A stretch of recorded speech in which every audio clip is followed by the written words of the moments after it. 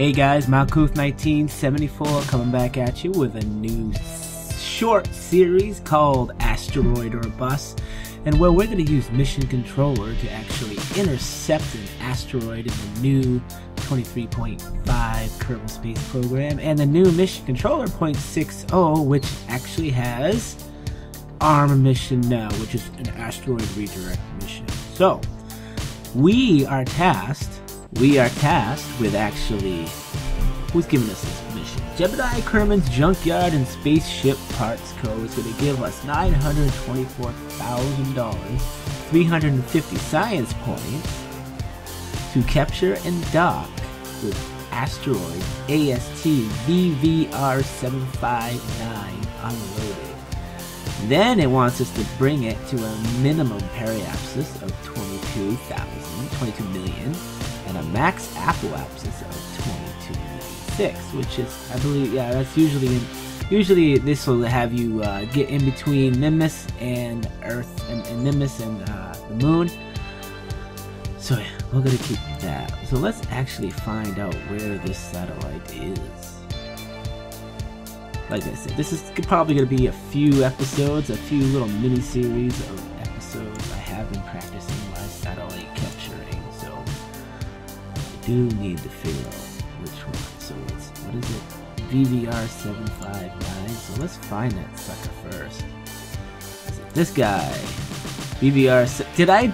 No, it's 7. No, I just got it, didn't I?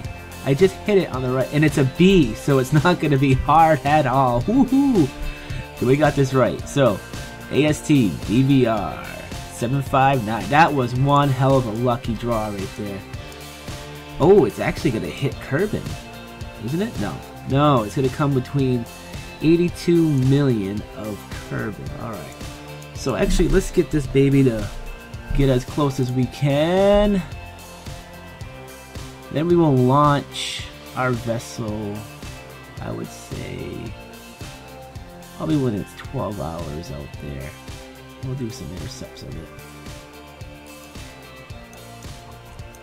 We're 12 hours away. 15 hours, that's pretty close. Alright, so let's actually get this thing. Let's actually show you the ship that we're going to be using this. I won't show you the actual vessel until, uh, until it gets into space, but this is the ship. The launcher you can tell it has plenty of delta V to get us there. The actual uh, probe that's going to put it in uh, space, hopefully 5,204 delta V is enough, but I'm thinking I might have some of this left. I might. I'm not sure. So this is the uh, second to last stage, which is this part right here. So hopefully that will get us there. So this is the vessel. It's using the new 3 millimeter parts from the NASA mission pack. Do we have everything all set? Everything looks good. That looks good. That's good. Let's get this thing in space. Let's get it in space. Oh, you know what I forgot to add to this? That might, it might just need, it might just need. Alright guys, I am back. All I did was added some control surfaces, some ASA, ASASs to this. Uh, there's no 3mm ASS in uh, uh, vanilla, so it's actually within this part. And there's another ASS, smaller one on the actual uh, probe. So, hopefully nothing explodes. Let's rock and roll, babies. I think I got way too much power for this. Where is my orbital vessel? We'll find out. Let's just launch it. We'll see how it goes. No, I don't. I actually set this up correctly. Where we have enough power to get it up into space. I actually reduced this with uh, in game to uh, uh, in the editor to 72.5. I was using fl uh, Flight Engineer to actually set up uh, a pretty much a, a TWR of like 1.5 at liftoff or 1.4, and when we hit the second stage, we're going to be at about 1.5 again and then the last stage should be around 1.52. It's got the actual big rocket in it. That was an expensive rocket to launch, as we, we saw believe it was 200,000. Wasn't really paying attention. I apologize in advance for that. We can actually check if I don't lose track here of what's going on. Uh, chips built log. We can go down. Yeah, it costs 221000 for the arm redirect mission, so we're almost ready for our staging. I didn't put anything on here, but doesn't seem to be affecting it all that much. Staging is done. Exactly what I wanted. I didn't want this to go up too high, but we should start kicking up some speed here. Which is about now. I'm not really at the, the MS, the, the, the speed I want to be. I'm going to be hitting about 10,000, probably at about 180 yeah, that's what it's looking at. So we're a little bit off. So I mean, it wasn't a, it wasn't bad for a first guess, I guess, for uh, launching a mission. Uh, we could be doing a little bit better with uh, efficiency-wise with fuel, but you know, when you launch these missions, you want to kind of have enough fuel anyway to get them where you need to get them. Uh, we got 50 seconds left on uh, stage three or this stage right here before we lose it. We're down to 40 seconds. We're going to get up to uh, 16,000. This is up to 20, so I'm going to start getting this down a little bit more. I like Kerbal Engineer because it's giving me the numbers I need to know what I need to do with this vessel to make it work, to get into space. Uh, it's not really a cheat. You know, I don't usually use MechJeb because I consider it kind of cheaty, but a lot of people do need it, so it's fine with me if people use it. I used to use it when I first started out, so it's not like it's a big deal, but I you would never catch me using it now because it's just no longer any fun. Doing this all yourself is what is inspiring to me, I guess. Alright, so we're gonna lose that stage. And there's our bigger stage. Yes, that is the other 3 millimeter. It's the only one that can fit, and I can give me my fairings that look correctly, that look correct. So, but this is actually uh, thrust limited down to 42. It does make it a little expensive on the uh, on the mission controller side, but it's okay because the ARM missions generally pay between I think 500,000 and a million. Up actually above a million it can actually go above but we will see. I guess you'd have to test that out with yourselves with mission controller. So we're at 51 I'm just trying to get a pretty good uh, angle here I'm trying to lose my periapsis for I don't have to uh, either way you're gonna have to use it it's probably better not to use a, to use this right now until you're in space, but I am at 55, so I can lose this. Now we got, we can see the actual ship. All it is is a probe. It's going to attach to the satellite. It's going to attach to the asteroid, and hopefully it'll have enough thrust to at least put it into orbit. And then if we have to launch another vessel to actually do the dirty deed of getting it to where we need it, then we can actually do that. So get this. As you can tell, this thing is actually still hard to turn. Let me see where we are. We're at a pretty good angle, I would say. Get this going.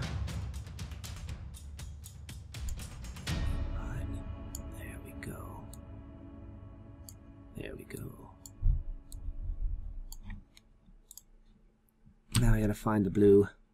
The blue estimated burn of 20 seconds, which is exactly what I wanted because I have 50 seconds left on this stage for actual uh, thrust. I'm hoping to actually intercept the asteroid with this still on, but we can't really guarantee that. F5 this baby. I'm gonna have to open up these uh, panels here. We should be safe now. We're well out of the atmospheric problems. Open these up. We don't lose our power. What do we have for electric charge? 630.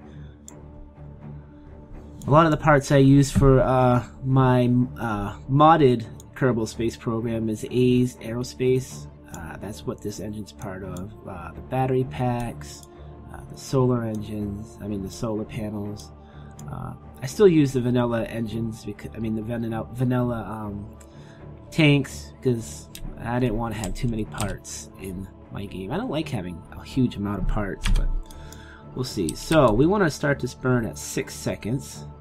That's your general cut in half. stuff.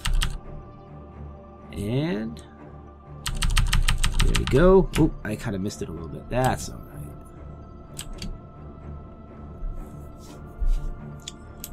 As long as we get into orbit, we can see we're hitting that. I'm going to hit this at right there. So we're at 84 and 80. Going by Flight Engineer.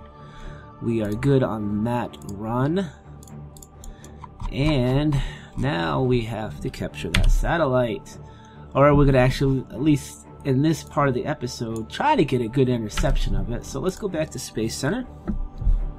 And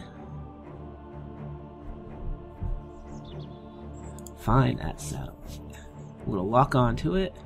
Well, we're really not gonna lock onto it, but I mean, I'm gonna try to get it to. Is that it right there? Where'd it go? I should have it in here.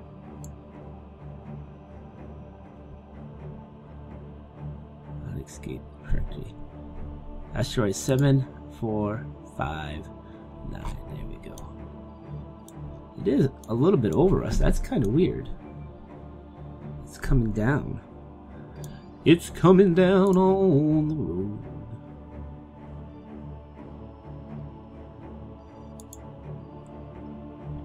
So, are we in the... We are... Wow, it's not going to be there for very long either. Alright, so... We best get out there and see if we can capture this thing. Uh, curve Kerbin. Let me see. I gotta see the situation here. I don't know. Usually I like to have them. I did some test runs with uh, smaller asteroids and a smaller ship to see. You know, actually, we might be. I might. I let that go in a little bit too much, but it's usually. It's usually fine. I would think. I don't know. That's quite high up. Oh my god, it's way out of our league. I am way, way out of my league on that one. Holy crap. I would use all my energy to try to get that. Oh, boy. Let me see if I can work something out with this. I'm so used... That one came... I should have paid attention to where it was coming. I should have... Be, I should be in a polar orbit right now to get that, but I am not. I am in an equatorial orbit, and that is going to be a problem. Yes, it is. I'm not quite sure how I can do this. Alright, let me see here. If I pull this out, lift it, pull, lift. That will take us out of Kerbin space. This is gonna use way too much energy.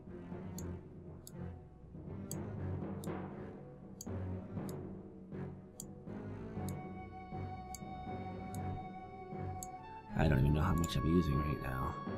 Holy crap. I don't even know what we're using here. There is absolutely no way I can intercept that with this vessel. Unless I slingshot. Could I possibly use... Is it going to come down? Might be able to intercept it outside.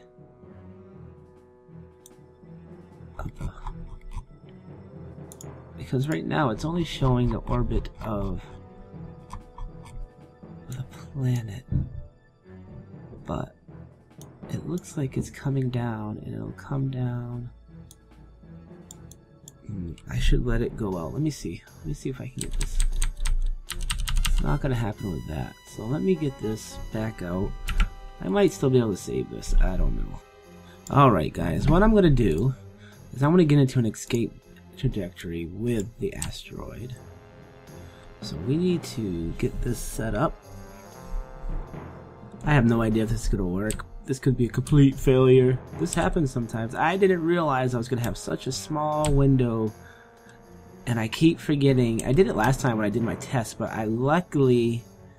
It uh, the orbit of the asteroid in my test run on uh, intercepting a- an asteroid actually uh, crossed over the equatorial pole, um, or my equatorial uh, actual orbit. This one didn't. This one was all up in uh, the polar regions, and you had to basically. If I was in the polar regions, we would have been all set, but I wasn't, so that stuff happens. So we're gonna see what we can do here. This could possibly be a bust mission.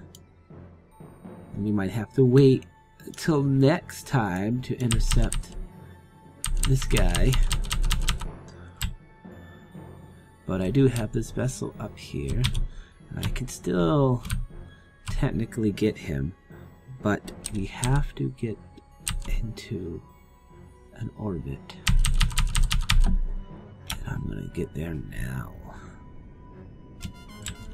Uh, what does this vessel have on it? Yeah, I'm going to not lose this, but it's gonna be close.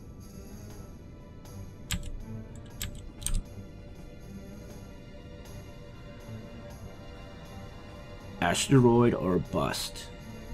What a good name. Has anybody actually busted when they did a video like this? Man, I'm always doing the first. The first. Asteroid or bust. And it's a bust right on the first try. Because I wasn't paying attention. I get all nervous doing videos, and all of a sudden,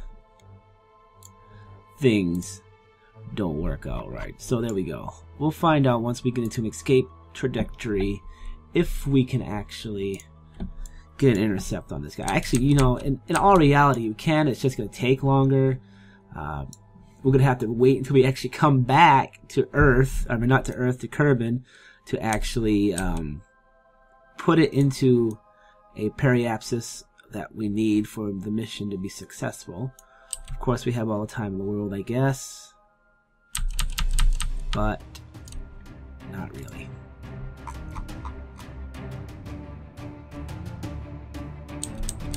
Do have astronaut. Did I just hit that moon? oh no! Oh no! Well, I would say that was a bust. Holy crap. I wasn't even paying attention if I hit the moon or not. Oh my god. Well, I would say that's it for this episode, guy. Episode 1 is done. We will have to wait for this asteroid to come back next year. And we will try again. Maybe we'll clean up some of my uh, my stuff here. So, as always, guys, this is Malkuth 1974 for the epic fail of a century. The asteroid or bust. It's so sad. I know. That was a nice ship too. It was pretty. I didn't even get to see it blow up. I just saw smoke and stuff. This is Malkuth out of here. Bye.